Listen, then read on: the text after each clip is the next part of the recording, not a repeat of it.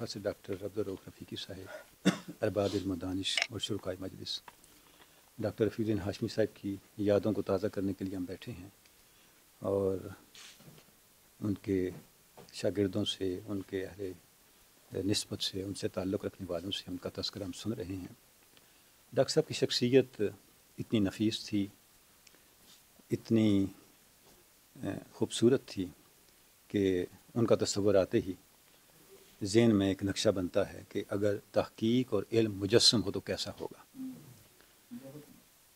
इकबाल अकादमी के साथ उनका जो ताल्लुक़ था, वो ऐसा था कि अकादमी की तारीख उनके ज़िक्र के बगैर मुकम्मल नहीं हो सकती। अकादमी की गवर्निंग बॉडी के डॉक्टर साहब रुकन रहे, बड़ा अरसा तक एग्जेक्टिव कमेटी के रुकन रहे और जो हमारी जायज़ा मसवदात कमेटी है उसके रुकन रहे। हमारे इकबाल अवार्ड की जो मजालस हैं उनके रुकन रहे। और इंतहाई ज़िम्मेदारी के साथ डॉक्टर साहब अपना किरदार अदा करते थे, जिस भी मजलिस में होते थे। और खसूस जो हमारे मुल्क का कल्चर है, जो ख़ुद मुख्तार इदारे हैं अटानमस बॉडीज़ हैं, इनके बड़े मसाइल होते हैं। और इस मुल्क में ख़ुद मुख्तार इदारे शायद इसलिए बहुत फ्लॉरिश भी नहीं कर सके उन मसाइल की वजह से। कुछ ऐसे इन बिल्ट मसाइल हैं। डॉक्टर साहब ने उन मसाइल की लहरों के सामने अकादमी के मफादात के लिए बहुत मौके पर बहुत सख्त मौक़ अख्तियार किया बड़ा स्टैंड लिया। और ऐसे लोग हमारी गवर्निंग बॉडी में बड़े कम रहे। जिससे अकादमी के ऑब्जेक्टिव्स अकादमी का मकासद महफूज भी रहे और आगे भी बढ़े। डॉक्टर साहब की ये भी शान थी कि वो अकादमी को गाइड करते थे कि किन प्रोजेक्ट्स पे काम आगे करना चाहिए। और फिर फॉलो अप रखते, आके पूछते कि इन प्रोजेक्ट्स को आप कैसे आगे लेके जा रहे हैं।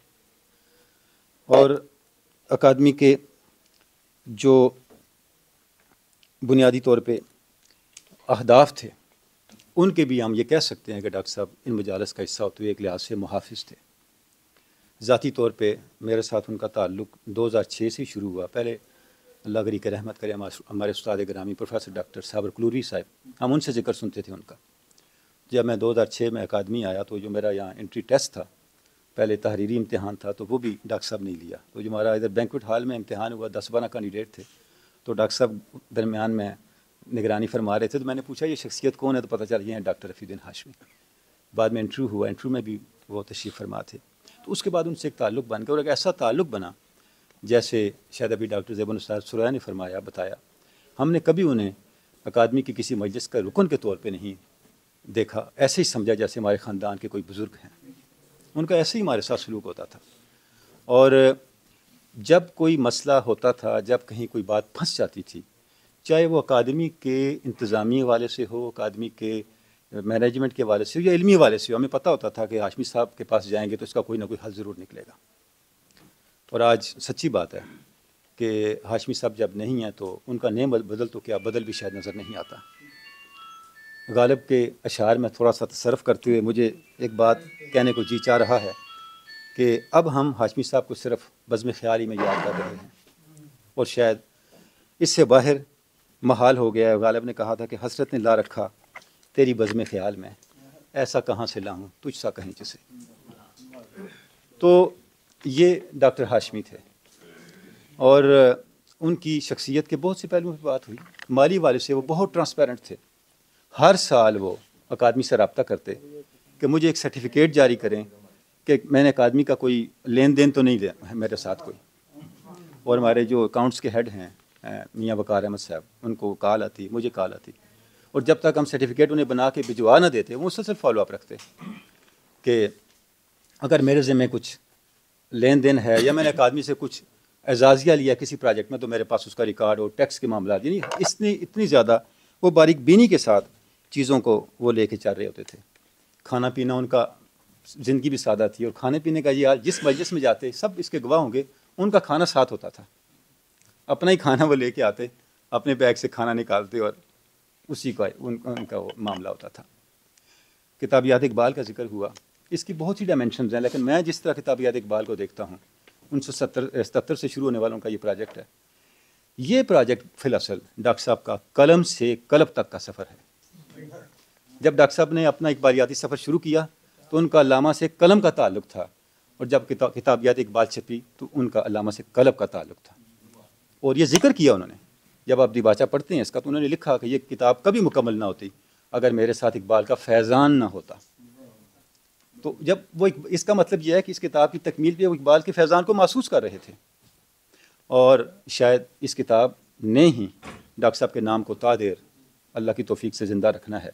क्योंकि जब तक ये मुल्क है, जब तक इस्लाम है, इकबाल का ज़िक्र रहेगा। और जब तक इकबाल का ज़िक्र है तो इकबाल के बारे में इल्म है कहाँ? किताबियात इकबाल का ज़िक्र रहेगा।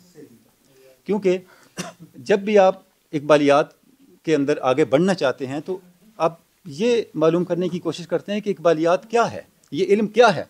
तो अगला सवाल ये होता है कि वो क्या है कहाँ? इसका जवाब आशमी साहब ने दे दिया।